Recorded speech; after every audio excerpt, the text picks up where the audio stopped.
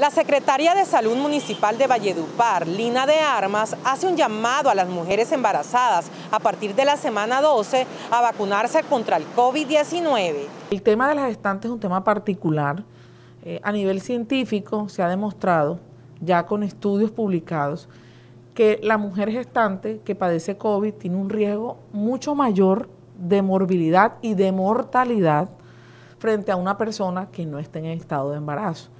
Entonces es una situación de protección especial esta vacuna para este grupo poblacional. El bebé no le va a dar COVID, no. Si hay unos mitos con respecto a eso, no. Es para proteger la salud materna de ella. Entonces es importante que por favor no tengamos miedo. Yo también estoy en estado de embarazo, yo me apliqué mi vacuna y estoy perfectamente. Entonces es cuidarnos nuestra salud. Eh, el año pasado a nivel nacional aumentó la mortalidad materna. Eh, de 2019 a 2020 fue uno de los, de los indicadores que tuvo eh, un aumento considerable eh, por COVID, porque hay unas consecuencias tanto para la, para la madre como para el bebé cuando le da esta enfermedad. Entonces es importante que acudamos a los puntos de vacunación si tienes 12 semanas de gestación en adelante hasta las 40 días posparto, debes acudir a aplicarte tu dosis de vida, tu vacuna de vida. Piensa en tu salud, piensa en la salud de tu bebé que está por nacer. En Valledupar hemos tenido casos críticos de mujeres que han estado en UCI luego de que tienen el bebé, han estado delicadas.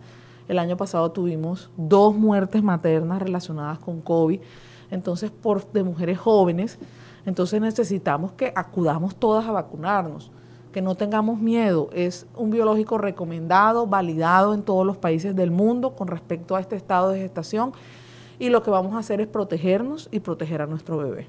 En el Instituto Cardiovascular del Cesar. Estamos preocupados por tu salud y el bienestar de los tuyos. Contamos con los equipos más modernos en tecnología de punta que nos permiten brindar una atención médica con calidad para la prevención, diagnóstico, tratamiento oportuno y rehabilitación de enfermedades cardiovasculares. El Instituto Cardiovascular del Cesar cuenta con un nuevo concepto multidisciplinario que consta de consulta médica especializada, cardiología adulto, cardiología pediátrica, cirugía cardiovascular, cirugía vascular, electrofisiología, neurología, ortopedia, anestesiología, urología, cirugía general, cirugía plástica, infectología, UCI hospitalización, unidad de cuidados intensivos, urgencias, atención 24 horas.